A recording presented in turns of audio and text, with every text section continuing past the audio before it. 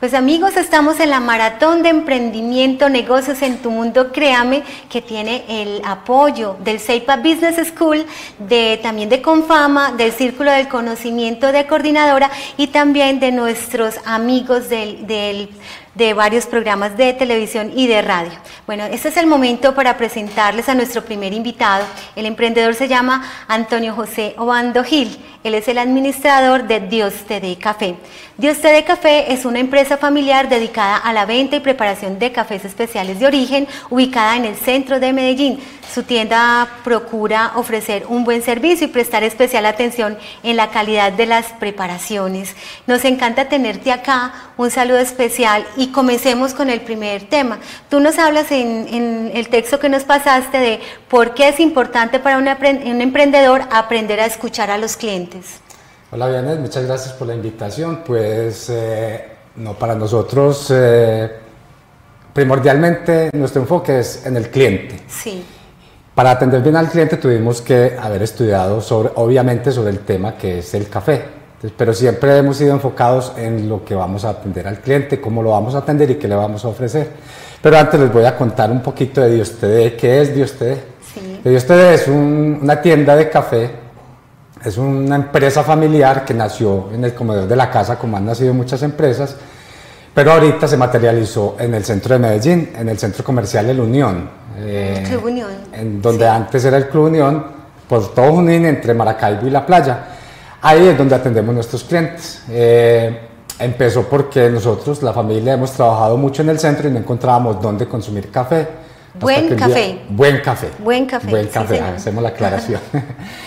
Entonces, bueno, porque no montamos un café sin saber nada de café, las profesiones de nosotros nada tienen que ver con el sector comercial, pero decidimos hagámoslo y bueno, nos pusimos a estudiar, a planear pero todo partió de una sola pregunta, eh, bueno, ¿cómo va a ser el café?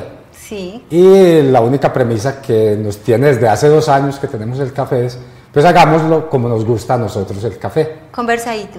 Conversadito, ah, en un lugar amigable, en un espacio tranquilo, cómodo y un buen café, que es indiscutible que la calidad para nosotros es muy importante. Por eso seleccionamos muy bien nuestros proveedores y todos los productos que tenemos allí. Muy bien, entonces ya saben que cuando van a Dios te dé café, lo más importante es que siempre están escuchando al cliente. Ahora háblanos de por qué uno de los errores que puede cometer un emprendedor es no tener en cuenta las redes sociales. Eh, ahorita en este mundo virtual donde también podemos, eh, si estamos aislados nadie nos va a conocer, ¿cierto? Claro. Por fortuna, nosotros, yo no sé si es un caso muy particular, eh, empezamos a estudiar el tema de redes sociales, lo hemos ido trabajando más lento de lo que quisiéramos, pero lo estamos haciendo, pero se ha complementado muy bien con el voz a voz de los clientes. Eh, además, aparte de que por redes sociales hemos obtenido muchos clientes, eh, con las actividades que hacemos, con la promoción que se realiza, también hemos detectado que hay muchos clientes que nos están recomendando con amigos, con familia, con turistas y allá van llegando y claro, esas redes sociales de ustedes son muy fuertes, entonces las pueden seguir, ahí están saliendo en los créditos del programa. Claro que sí. Entonces, ¿qué te parece? Contémosle a nuestros televidentes, a nuestras eh, personas que están en la maratón, en esta cámara, ¿por qué ir a Dios te dé?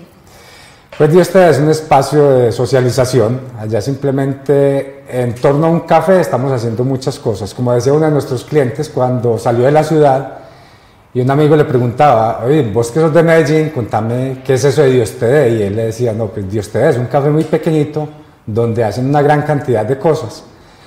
Entre ellas lo que hacemos es conversatorios, tertulias, charlas, algunas programadas, otras espontáneas, pero la mayoría la hacemos de mesa a mesa.